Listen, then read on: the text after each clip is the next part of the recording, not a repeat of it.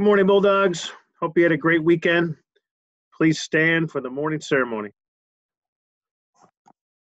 I pledge allegiance to the flag of the United States of America and to the republic for which it stands, one nation under God, indivisible, with liberty and justice for all.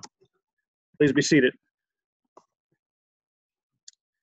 Some need to know items. Uh, first of all, a little reminder as part of our opening plan back in September, and it's been the case all year.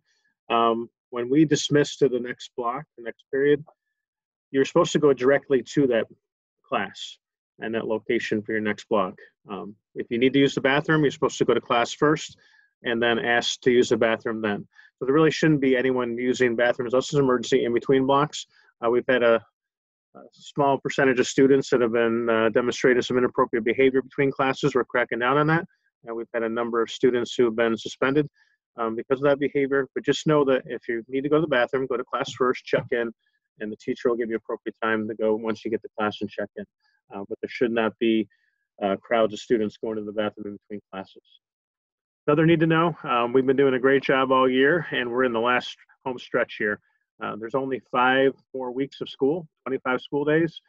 Um, last day for 712, grade 712 will be Tuesday the 15th. Uh, seniors, you'll have a couple trips planned on those last Monday and Tuesday, the 14th and 15th. Uh, sixth grade, you have uh, three more days after that day, so you go a little bit longer. But we are planning a, a, special trip for you guys, but more to come on that. Those of you that pass the 15th that'll need to come back are those that are taking uh, some of the courses that are required to take the Regents exam here in the spring. Um, those are the ones listed right there. So if you're 11th grader taking English ELA right now, uh, your Regents exam will be on Thursday the 17th. Uh, if you're taking Spanish or French one or three and you're looking to take the check checkpoint either A or B, that'll be on Monday the 21st. Uh, the living environment, now these are if you're in these courses right now this semester. Those that were in these courses in the fall semester, uh, you're exempt from the, the Regents. And taking the Regents here in the spring, it's not going to hurt you at all. So whatever you get on it can only help you. And that's why we're persuading everyone to take this. So living environment, uh, your Regents exam will be on Tuesday the 22nd, and then Algebra 1, you're on Wednesday the 23rd, and then Earth Science, you're on Thursday, uh, June 24th.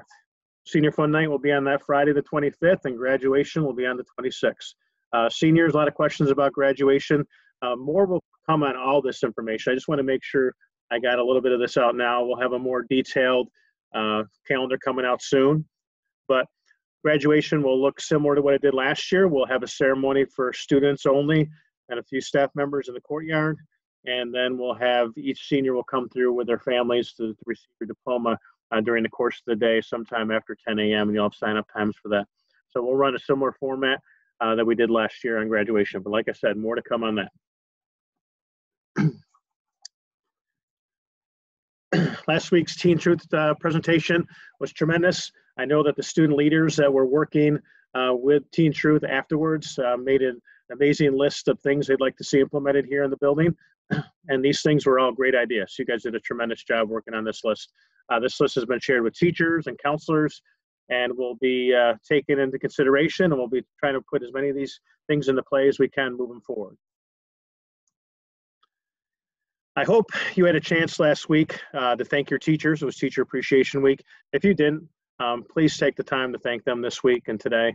Uh, your teachers here at Livonia um, have gone above and beyond any teachers in New York State. Um, this has been, for our teachers, the toughest year of their career, um, and they have worked hard to provide you instruction five days a week. Um, in the coming back in the heart of the pandemic, uh, with all the unknowns that surrounded us with the pandemic. Uh, they weren't vaccinated at the time. They came back here and provided instruction for you guys five days a week. And not just instruction in person, but also remote. And they did the blended learning model where they taught those of you that were here and those of you that were home. Uh, they had to redesign the curriculum uh, to make it digital and to have their Google Classrooms up and running. And, and they just did an amazing job. And they did, and they've been pushing hard throughout the year to help you guys to be successful and they're still pushing with you guys now, helping you to be successful here at the end of the year. So please take the time uh, to reach out to them this week and make sure you thank them for all the great things they've done for you guys this year, because uh, uh, you wouldn't be where you are today without them. And we'll leave you with a quote Teachers affect eternity. no one can tell where their influence stops. So have a good day, Bulldogs. Stay strong.